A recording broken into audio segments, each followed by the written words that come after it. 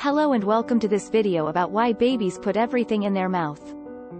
If you're a parent or caregiver, you've probably noticed that babies have a strong tendency to explore their surroundings with their mouths. From toys to household items, everything seems to end up in their tiny mouths at some point. But why do babies do this? One reason is that babies are born with a natural instinct to explore their environment using their senses. They are curious and want to learn about the world around them. The mouth is a particularly sensitive part of the body, so babies use it as a tool to gather information about objects by tasting, feeling, and even smelling them. Another reason is that babies are teething. As their first teeth begin to emerge, babies often experience discomfort and pain in their gums. Chewing on objects can help to alleviate this discomfort and provide relief. It's also worth noting that putting things in their mouth is a normal part of babies' development.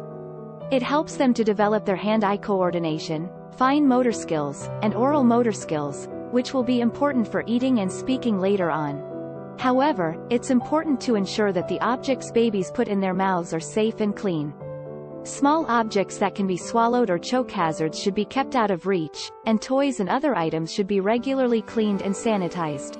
So, next time you see a baby putting something in their mouth, remember that it's a natural and important part of their development. And with proper supervision and care, they can safely explore their environment and learn about the world around them. Thanks for watching. If you found this video informative, make sure to give it a thumbs up, share it with your friends, and subscribe to our channel for more exciting videos like this.